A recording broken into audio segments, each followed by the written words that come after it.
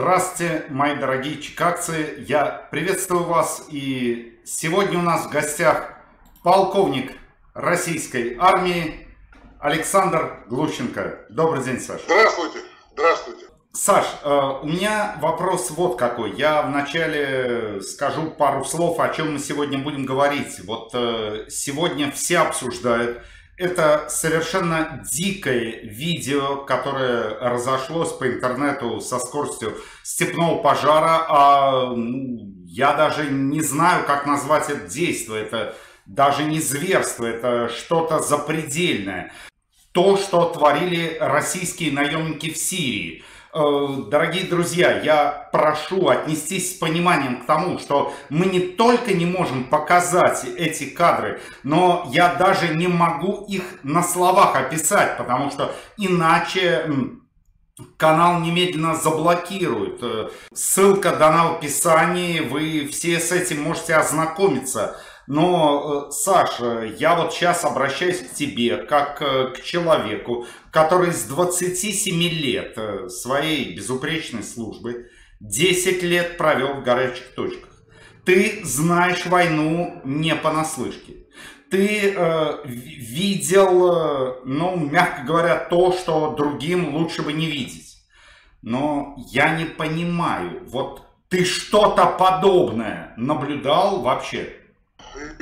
Давай сначала э, к зрителям, к слушателям обратимся. То, что если вы пойдете на эту ссылку, то, пожалуйста, вы должны стопроцентно знать, что у вас крепкие нервы. Я, честно говоря, вот э, даже имея определенный опыт э, нахождения на войне, проще говоря, там в горячих точках, я до конца его не досмотрел.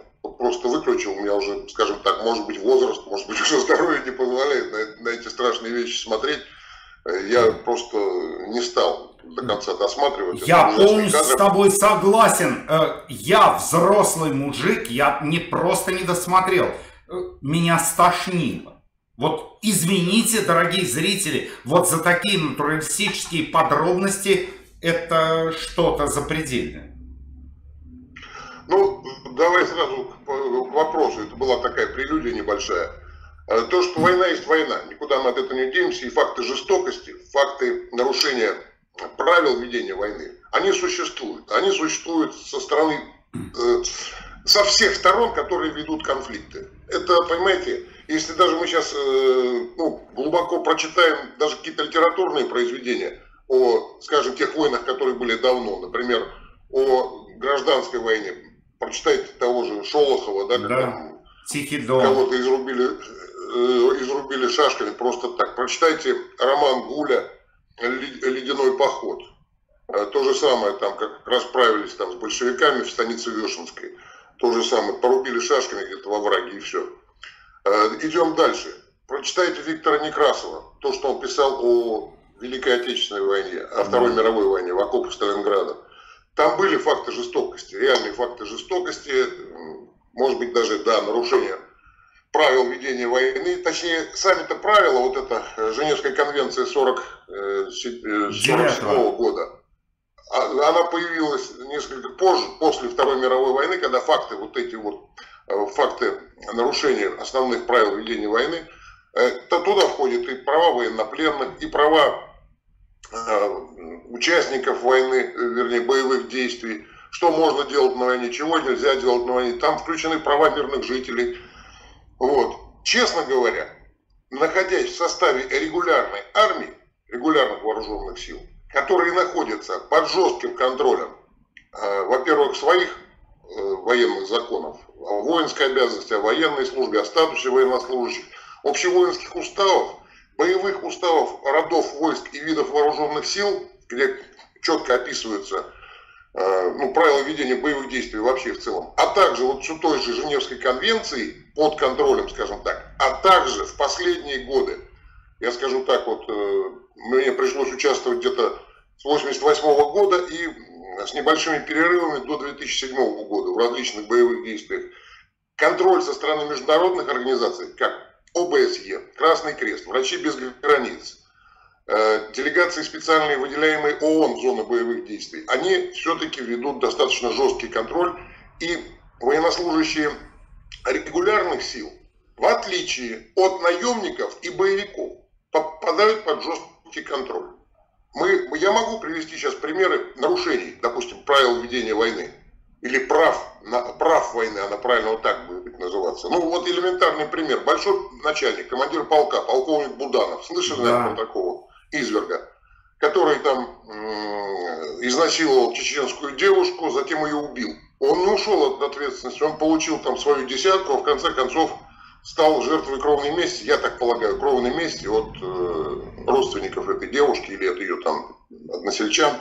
Вот. Капитан Ульман то же самое расстрелял группу мирных чеченцев и в результате привлечен к уголовной ответственности. Единственное, что ему в ходе судебного процесса удалось скрыться с территории России. Сейчас никто не знает, где он находится. И много-много-много таких случаев было, когда штатные военнослужащие привлекались к ответственности. К сожалению, со стороны нерегулярных формирований, таких как наемники и таких как э, подчиненные полевых командиров, то есть боевики, грубо говоря, этого контроля, естественно, не было. У меня, например, есть опыт, когда я лично обнаруживал пленных российских солдат во время одного из вооруженных конфликтов, пленных э, военнослужащих, находившихся в плену, скажем так, у противника, просто, вот, грубо говоря, с отрезанными головами и с, с изуродованными телами. Такое было. И плюс но если совсем крепкие нервы, откройте, прям ссылку наберите, казнь русских солдат, российских солдат. И там увидите, как им отрезают голову, например. Было такое, было. Ничего не сделаешь. Почему я завел речь о таких разных категориях комбатантов, как военнослужащие штатные регулярной армии, как э, боевики и как наемники. Сейчас доподлинно уже известно, популярнейшее российское издание «Новая газета» провело расследование, э, э, углубленное расследование, они дошли до сути. Один из этих сволочей, я прямо скажу, у меня нет других слов, в то время как издевались над вот этим вот э, телом этого араба, даже установлено, кстати, кто это такой, я сейчас расскажу его историю. Он вдруг то ли снял маску, то ли снял черные очки. В интернете сейчас существует программа, которая по чертам лица может э, найти эту фотографию в интернете. Да. И его изображение лица, вот эти вот журналисты с помощью там серьезных компьютерщиков нашли в социальных сетях в России, в нескольких социальных сетях. Причем его личный аккаунт, который, э, на котором он лично размещался, он э, заблокирован. То есть он ушел из него, он закрыл его, свой аккаунт. Но среди своих э, бывших подписчиков, друзей, там, с кем он переписывался, он у них остался в фотографиях друзей. Вот.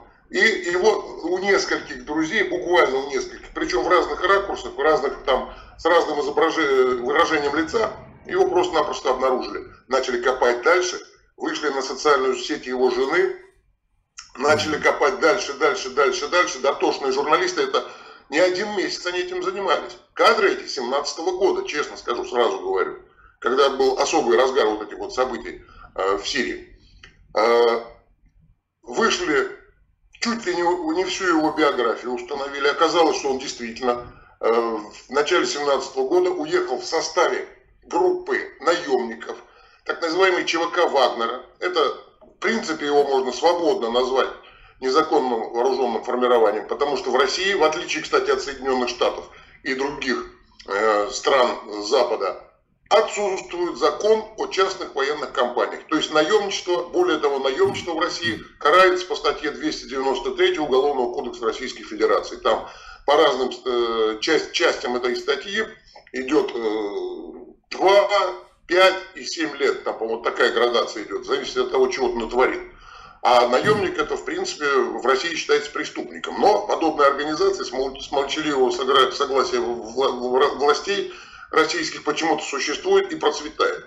Имеет прекрасное снабжение, прекрасное оружие, форму, обмундирование, э, военную технику и занимается вот этим беспределом практически во всех странах а-, Азии, Африки и Ближнего Востока. В частности, их нахождение отмечено в Судане, в Центральноафриканской Республике. Прибыли несколько гробов из Мозамбика, буквально вот на днях, там 3-5 дней назад. И вот в частности, уже давно-давно они ведут войну в Сирии. Имя его установлено. Его единственное не напечатали журналисты по той лишь причине, что они боятся за его семью, за безопасность его семьи. Но оно установлено, имя, по крайней мере, названо. По-моему, Дмитрий его зовут. Э, его биография, он служил инспектором дорожной полиции. В Америке это, наверное, дорожная полиция называется, у нас это называется госавтоинспекция. Вот, какое-то время там дослужился до небольшого звания, потом, видимо, ему мизерная зарплата надоела, он поехал рубить бабки, как говорят в России. Вот как раз в 17 году он уволился из полиции и туда поехал. Э, как понимать психологию этих людей? Да, вот это самый главный вопрос. Ты понимаешь, Саш, э, я э, не понимаю две вещи. Ну, во-первых, это психология этих людей. А во-вторых, что должно быть в голове у человека, который подобное фиксирует на камеру и далее размещает в социальных сетях. Что это должно быть в голове у человека? Я вот э, просто пытаюсь оценить. Давай сначала с точки зрения психологии. Хорошо. Значит, люди, которые... Ну, просто вопрос из двух частей получается. Вопрос психологии это э, сложно залезть в голову другому человеку, но я просто знаю по опыту, что многие люди, которые участвовали в вооруженных конфликтах, тем более находясь там в возбужденном состоянии, потому что, скорее всего, там бой какой-то, не дай бог, в них кто-то стрелял, не дай бог, кто-то из его там соседа справа, соседа слева, я не хочу их называть словом товарищ, потому что они не подходят под такие, вот эти бандиты не подходят под такие понятия, как товарищ. Может быть, кто-то получил ранение, может быть, кто-то был убит. Это просто вот ярость такая обуяла ими. Но они ведут себя на этих э, съемках кстати, с прибауточками. Да. Достаточно весело. Разговаривают спокойным голосом. То есть это обыкновенный садизм. Мы можем предположить, кто идет в эти вагнеровские формирования. Это люди с искривленной психикой, садисты, мародеры. То есть, кроме удовлетворения своих садистских психологических потребностей и получения крупных денег, они достаточно неплохо там получают, у него другой цели нет. Ну, ты знаешь, удовольствий на войне мало. Связь телефонная запрещена, интернета нет, как правило, в этих э, пустынях, там он просто не подведен. Водку туда не завозят, чтобы они там все не перепились. Женщин там нет. Ну, что сделать? Ну, поглумиться над мертвым телом. Установ... Да, теперь про э, то, зачем снимать, более того, даже зачем в кадр попадать с открытым лицом, если ты преступник, да. ты прекрасно понимаешь. Это первый его интеллектуальный уровень. Он не понимает вообще, что интернет уже достиг совершенно космических высот.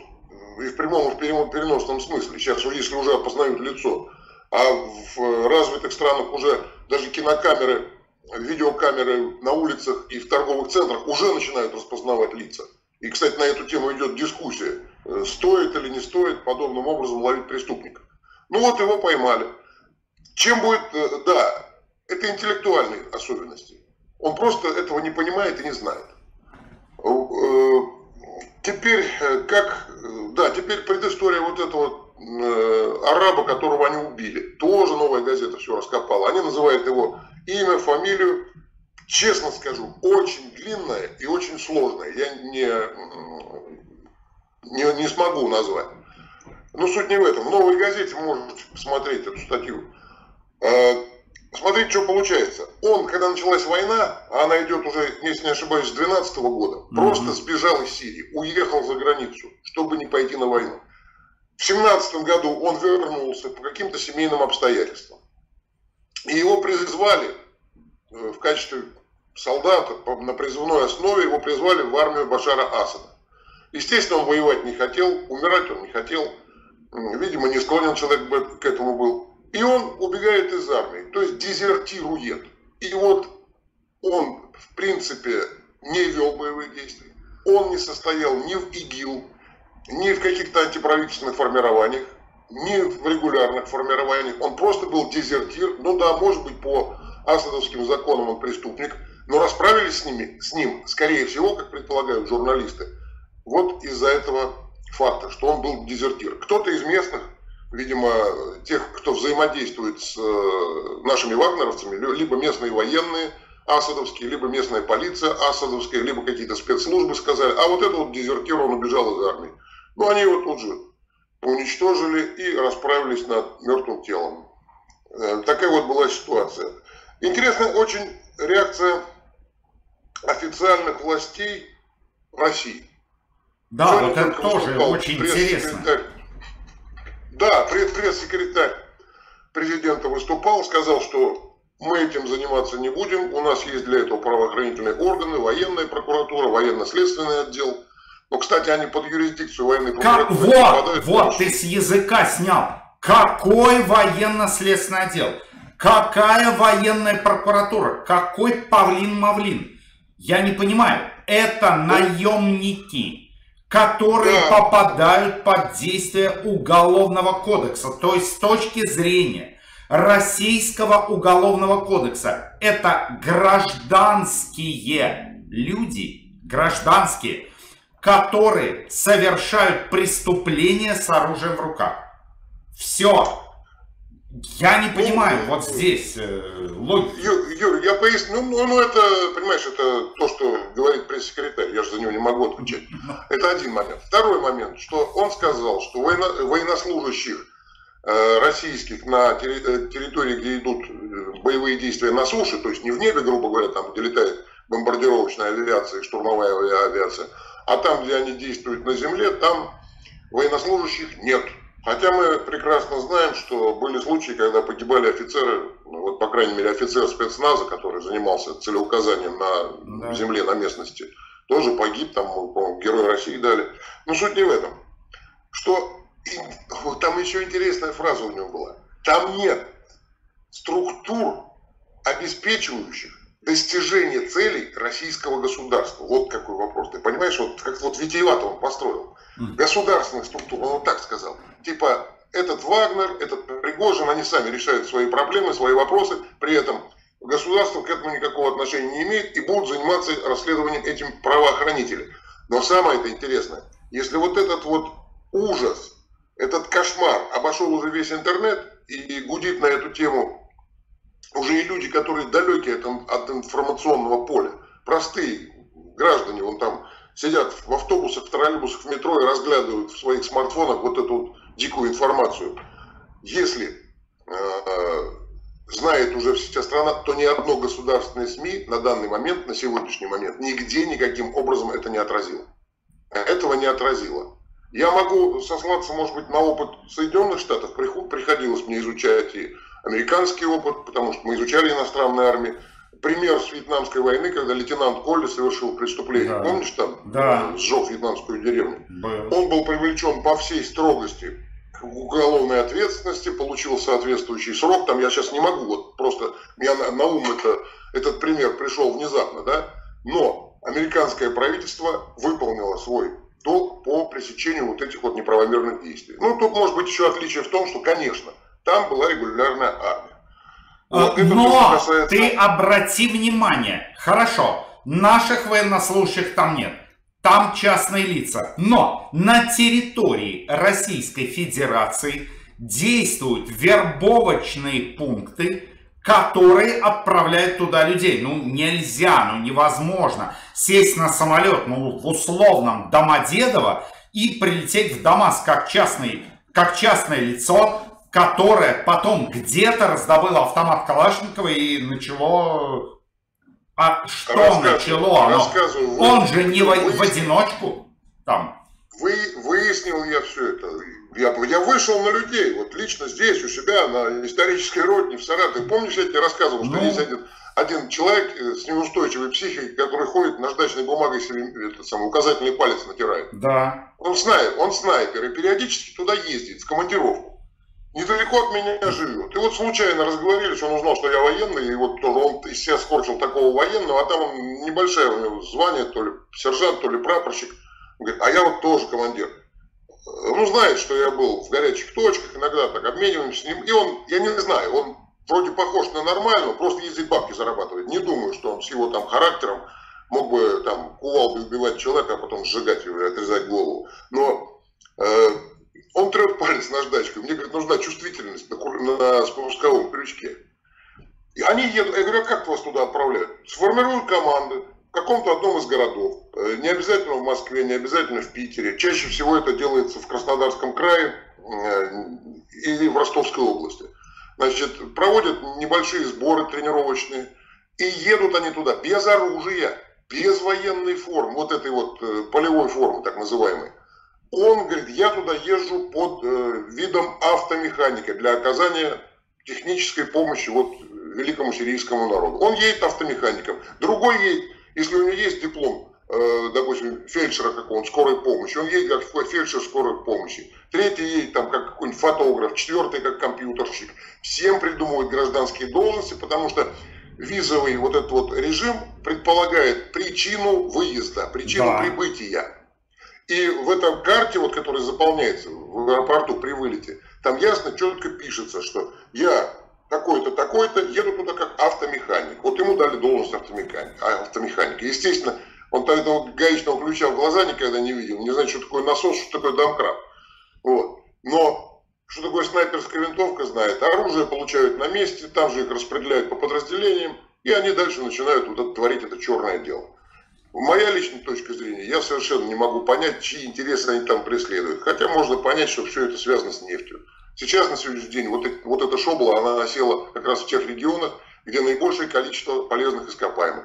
Это а. суданская нефть, это сирийская нефть, ну, ряд других э, э, ископаемых в Мозамбике и в Центральной Африканской Республике. Там а, связано Саш, с а... редкоземельными металлами. Саш, хорошо, Саш, я тогда да. вопрос ведь иначе поставлю. Допустим, некий Вася при, прибывает в Сирию как фотограф. Вот он решил поснимать. Хорошо. Но он куда-то является. Ты только что сказал, что оружия с собой у них нет. Он где-то должен получить оружие. Он где-то должен получить информацию о том, кто его командир и какие его задачи. Значит, я просто включаю логику. Там должен быть какой-то орган, какая-то организация, какая-то структура, которая дает ему эти указания. Э, что это? Это тоже частная структура или государственная? Сейчас модно в, модно в России говорить частно-государственное партнерство. Да? Нет, там система какая? Допустим, вот, э, ну, регулярные войска, в основном это авиация, да, они борются, и, ну, э, скорее всего, там еще есть и артиллерия, насколько я знаю. Если есть передовые артиллерийские наводчики, значит, есть и артиллерия. Я просто вспоминаю вот этого погибшего офицера. Вот. Плюс там тыловые подразделения и так далее. Вот, вот они в самолете прилетели, их прямо в аэропорту, прямо в гражданской одежде, просто выводят оттуда, сажают на автобусы, везут в какую-то точку определенную, я не исключаю, что даже может быть на российской военной базе. И там уже происходит э, переобмундирование, выдача оружия и уточнение mm-hmm. задачи. А сама структура вот эта вагнеровская, сколько их там, 100, 200, 500 человек, если их так много, то идет, э, там же все бывшие военные, большинство. Там идет четкое структурирование. Если 500 человек, то это батальон. Э, если это батальон, то состоит из пяти рот. Если это 5 рот по 100 человек, значит, это 3 взвода по 30 с копейками. Вот она четко структурируется, периодически вот эта ротация проходит. Для того, чтобы провести ротацию э, вот этих бандитов, какое-то подразделение, допустим, вот это, там, первая рота свой лимит пребывания на сирийской территории исчерпала. Насколько я знаю, он ездит туда по 3 месяца. Выводят ее из зоны боевых действий, эти снимают с себя форму, надевают гражданку, передают оружие тем, кто прибыл. И так вот э, где-то раз в месяц идет ротация по одному подразделению. За три месяца все пять подразделений проходят ротацию. То есть э, нормально отлаженная система. Ну, рулят это бывшие военные, которые знают, что такое восстановление боеспособности, э, что такое переформирование подразделений, что такое доукомплектование. Это несложно сделать, если когда-то хоть пару лет проучился в военном училище и хотя бы ротой покомандовал годик и прекрасно все это можно понять. Тяжелой техники, насколько я знаю, у них нет. Это просто пехота, которая вооружена автоматическим оружием, снайпер, э, я имею в виду автоматы и пулеметы, и снайперскими винтовками, снайперским оружием. Ну, плюс легкое, там, типа пистолетов. Вот. Э, танков, бронетранспортеров нет, не исключаю, что есть грузовики. Просто для перевозки вот этих команд, так называемых. Дело в том, что и у игиловцев, якобы с которыми они ведут эти действия боевые, И у тех бандгрупп, которые могут осуществить нападение на охраняемые ими объекты, а есть информация, что они занимаются исключительно охраной объектов, причем тех нефтяных месторождений, которые Асад в знак благодарности Пригожину, ну, скажем так, давайте проще говорить, Путину, вот, э, в знак благодарности выделил для добычи нефти и эксплуатации под э, Россию. И они охраняют, отгоняют этих игиловцев и отгоняют э, бандитов, обычных уголовников от этой территории. Э, иногда там возникает, естественно, бой столкновения. Вот. Для этого сложная боевая техника не нужна, достаточно зарыться в землю или устроить огневые позиции в населенном пункте, там где-то на верхних этажах зданий, и, соответственно, либо охранять, либо держать оборону.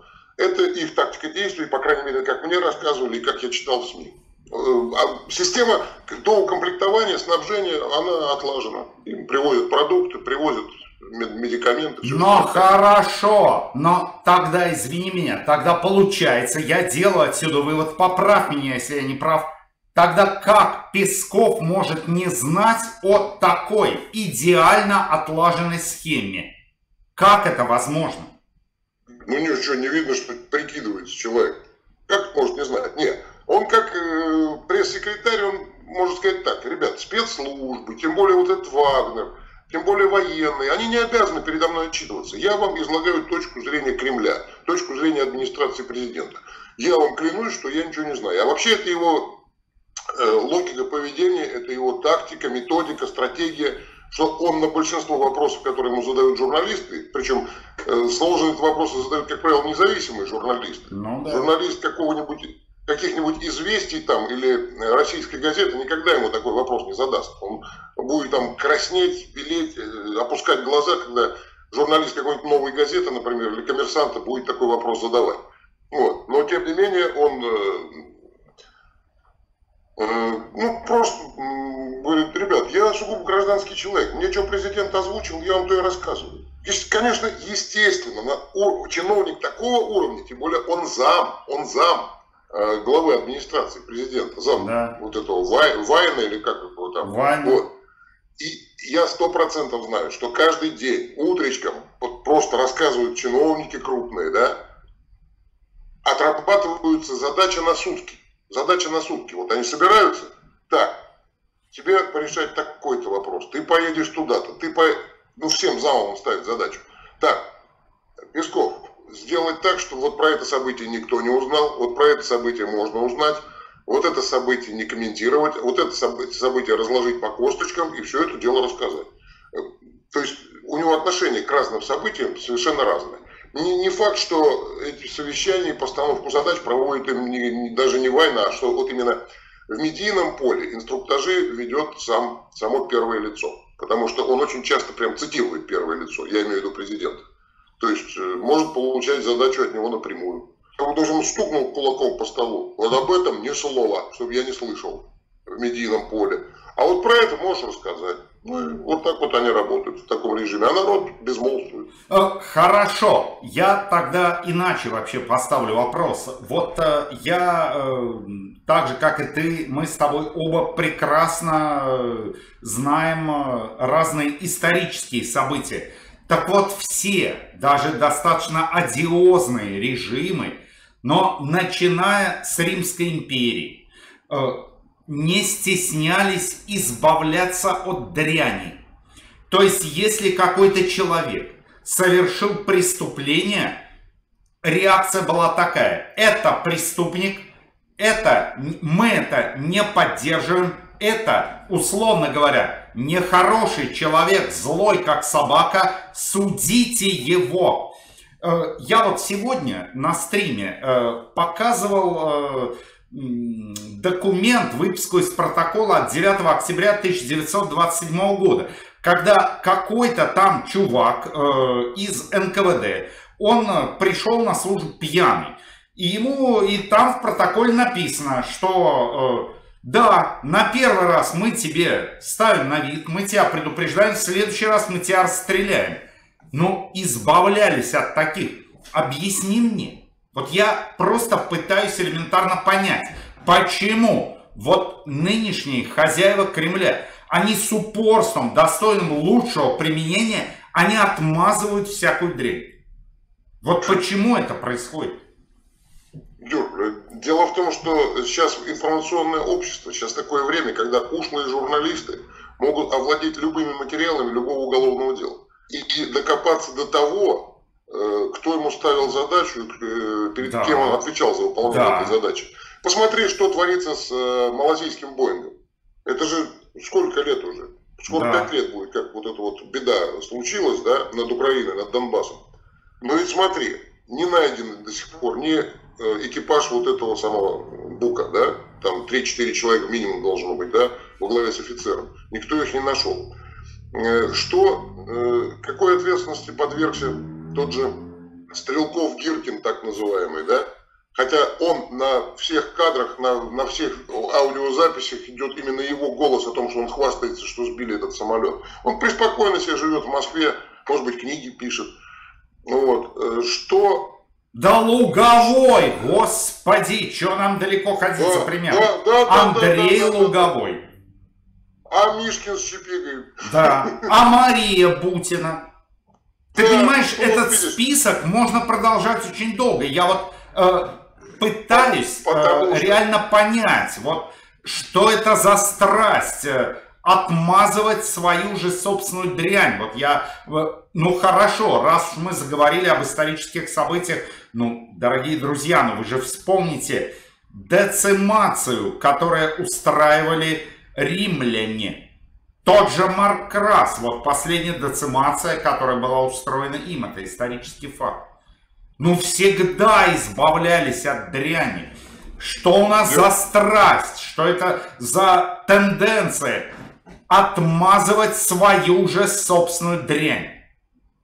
Юра, вспомни даже вот э, не к ночи упомянутого там того же Ленина или того же Сталина.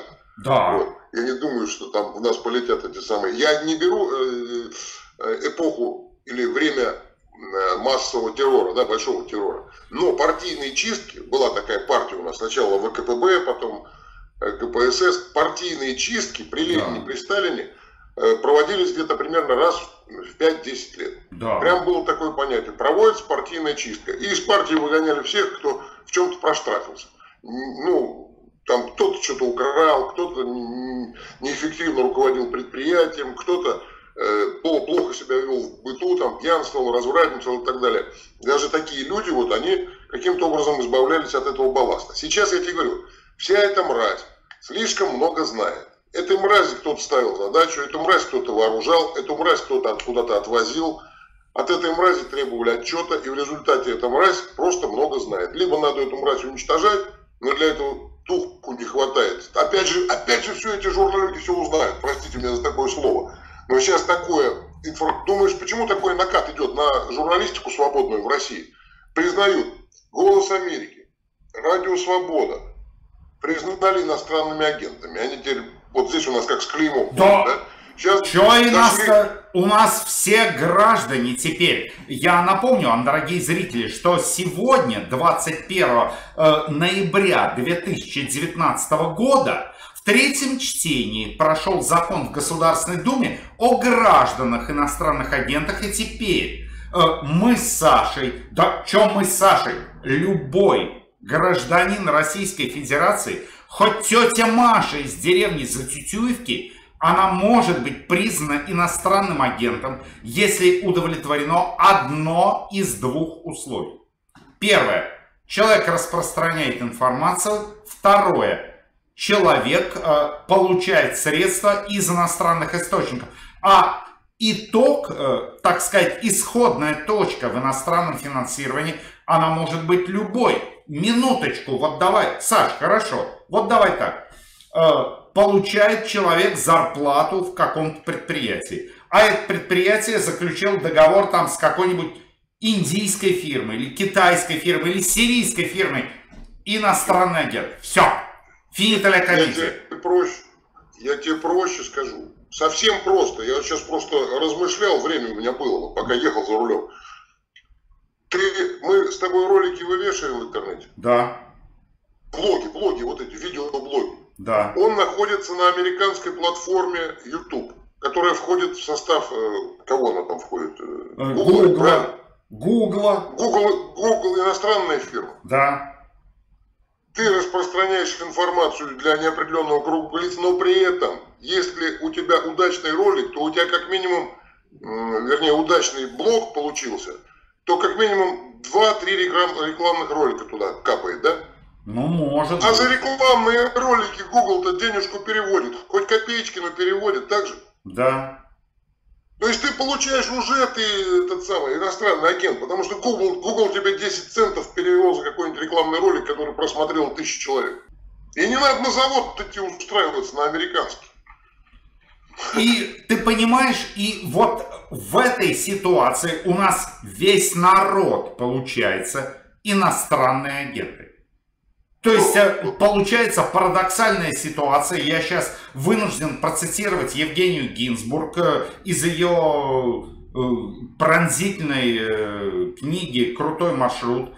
Если все изменили одному, то не проще ли подумать, что один изменил всем? Просто боятся распространения информации. Если начнется над этими отморозками судебный процесс, если начнется реальное, настоящее, объективное следствие – все равно материалы просочатся. Вот как бы не скрывали это все, но ведь ясно и четко. Вот есть адвокат, он пришел на этот процесс, пусть он даже защищает его, но все равно богатое, солидное издание всегда может перекупить у адвоката информацию следствия. Так же? Ну, в принципе, да. Ну, тем более, что при э, российском менталитете, я думаю, может быть, э, американский адвокат будет э, своими отношениями с клиентом там беречь их как зеницу ока. А здесь у нас ну, предложат ему сумму немножко большую, чем его адвокатский гонорар в рамках этого уголовного дела. Он выложит это уголовное дело, отдаст журналисту. Журналист опубликует, скажет, а по закону о СМИ нельзя ссылаться на определенных э, конкретных лиц у нас. Э, хотя сейчас следователи и чекисты пытаются выворачивать руки журналистам, где вы это дело взяли. Вот. Э, и все это станет достоянием гласности. А там вдруг раз и всплывет. Мне задачу ставил Бортников, мне задачу ставил Патрушев, мне задачу ставил Чайка, мне задачу ставил там какой-нибудь начальник там ГРУ, сейчас забыл кто там. И все, все расколятся, все же, вернее, вся эта информация расползется. Просто не хотят бороться, э, боятся выплескивать эту информацию, потому что авторитет или, а, во, репутация, во, хороший вопрос. Репутация и так у России без того растоптана, да, самими же, да? Да. Захватом Крыма, войной э, на э, юго-востоке Украины, э, тем, что творится с Грузией, э, вот эти все аннексы, аннексии земель там и все остальное. Э, репутация растоптана. Э, экономика не движется, народ все более и более недоволен. Если ему еще сейчас этому нашему крупному большому начальнику подкинуть этих дровишек в огонь, ну, народ совсем от него отвернется. У него рейтинг все падает и падает. Но ни один человек в его окружении, потому что это почти монархическая власть, не может ему сказать, слышь, ну, мне кажется, ты с ума сошел, может, хватит, остановись. Ну, такого же не будет никогда. Ну, Все да. кричат, да здравствует король, а маленький мальчик говорит, вот типа нас с тобой, что король-то голый, вот в чем дело. Саш, но тогда у меня очень э, жесткий э, вопрос. Вот э, опять же я возвращаюсь вот к этим диким совершенно кадрам. Вот э, как ты считаешь, э, вот э, эти персонажи, я их не хочу назвать людьми, потому что с моей точки зрения, это мое оценочное суждение, это не люди, вот, которые подобного рода творили. А, но, как ты считаешь, это какая-то национальная черта или это все-таки выродки какие-то, вот, э, которых подбирают? Э, как ты думаешь? Юр, э, я скажу, что для меня, например, национального вопроса вообще не существует. Вообще в, этом, в этой жизни с малых лет меня так воспитывали – как только я начал слушать и говорить, что национального вопроса не должно существовать для нормального порядочного человека. Поэтому э, нации, народности, которые являются террористами, бандитами, вот этой мразью, их просто не бывает. Это либо м, отклонение чисто психологически в мозгу, либо э, детское воспитание вот такое было, либо легко внушаемые люди, которые насмотрелись боевиков, которые насмотрелись, наслушались своих этих самых командиров и замполитов, что вот надо этих резать, этих убивать. Вот. Мы же знаем прекрасно много фактов. Возьми ту же Кампучи, да? Когда там нормальный, добрый, веселый народ с э, древней культурой, там, ну, пришел Пол Пот, они взяли, по-моему, там 3 миллиона зарубили этими самыми лопатами, да? Да, из пяти. Голову отрубали. Вопрос такой, откуда ну, вещают эти два господина. Mm-hmm. Если же они вещают в России, то пускай они представят, что было бы э, с американским гражданином, если бы он, допустим, где-то в России э, так обливал грязью свою армию, свою страну. Я завидую просто российской демократии. Э, ну, я скажу на эту тему, э, я э, скажу так, что я вот сейчас нахожусь в Израиле, и уж сколько грязи многие местные, не то что граждане, а политики, они льют и в том числе и на государство Израиль, и ничего. Так и в данном случае я хочу сказать только одну вещь. Любовь к своей стране – это не замалчивать ее грязь, ее преступления, а выявлять их для того, чтобы страна стала лучше. Саша. Вот, я то же самое хочу сказать, но только единственное, что я вещаю из России, реально из России, из одного из крупных городов, назовем город Саратов. Это первое. Второе, э, в отношении э, демократии вы, к сожалению, просто вот не представляете, что здесь такое творится насчет демократии. А то, что у вас сегодня э, какой-то там, вернее, не сегодня, а раньше какой-то прокурор там бегал за президентом Трампом и на него возбуждал уголовные дела там каждую неделю или вел расследование. Попробуйте, проведите расследование на прокурора или губернатора здесь, в России. Это первое. Второе. Опасно трудно, я прямо скажу, опасно э, этим делом в России заниматься. Посмотрите, что творят с тем же Навальным, сколько людей пересажали после э, так, так называемого московского дела, сколько людей пересажали после болотного дела. Просто, если это трудно и опасно, очень сложно напугать человека, который 10 лет был на войне, просто очень сложно напугать. Ну, что вы со мной сделаете? Ну, голову отрежете и сожгете, что ли? Да ну, господи, переживу я это как... Это э, второй момент. И третий момент. Вы сказали, что я там армию где-то облил. Так вот, армию я упомянул всего один раз, что регулярная армия этим не занимается. Этим занимаются бандиты и наемники. Я разделил все на три категории. Вы просто невнимательно слушали. Спасибо за вопрос. Спасибо вам за такой э, вот, классный ответ. Это просто, вы знаете, я всю жизнь, э, живя здесь в Америке 40 лет, удивляюсь, э, насколько у людей совковый менталитет, который ну, невозможно выжить. Просто невозможно. Ну и я вот в заключении хочу зачитать вопрос из чата Виктора Ханшева. Э, вопрос такой, э, из двух слов. Россия обречена? Ну, я отвечу тоже очень коротко. На мой взгляд, нет. Саш, ты... Нет. Пока есть честные люди, пока есть люди, которые борются за справедливость, за свои права, за права других людей. Сложно, трудно, я еще раз говорю, идет закручивание гаек раз и откачка воздуха два. То есть, вы понимаете, это не значит, что на вас кинулись, зажали вам шею и вас душат, вот горло вам пережали. Речь идет о том, что просто из вашего, из вашего места обитания откачивается воздух. Вот таким образом вас душат.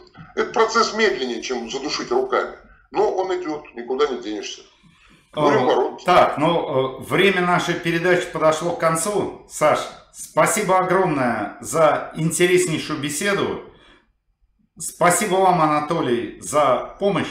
Спасибо вам, дорогие зрители, за ваше внимание. Ну, я, как всегда, напоминаю, выводы делать только вам. До встречи через две недели.